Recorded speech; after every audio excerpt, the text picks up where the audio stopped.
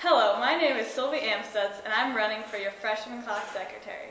As secretary, I will do my best to fulfill all duties that are expected of the position and promote positive school spirit. Some of the most essential skills a secretary should have are ones that I feel practiced at. Being organized, a good team member, a careful note taker, and a good communicator are important qualities I feel I possess. Communication is a talent in which I strive to excel and is one of the most crucial factors to being a secretary. I'm very experienced at, note, at taking notes and paying attention, and I really care about what I put on the page. I try to focus too on small details that might otherwise be missed. I have much past experience working with teams, and I think my ability to work effectively with the other officers and student body would make me a valuable member of ASB.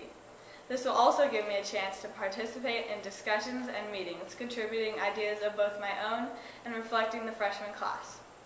Other duties, such as creating signs, writing letters, helping with activities, and taking pictures, are responsibilities that I not only feel very capable of accomplishing, but enjoy doing.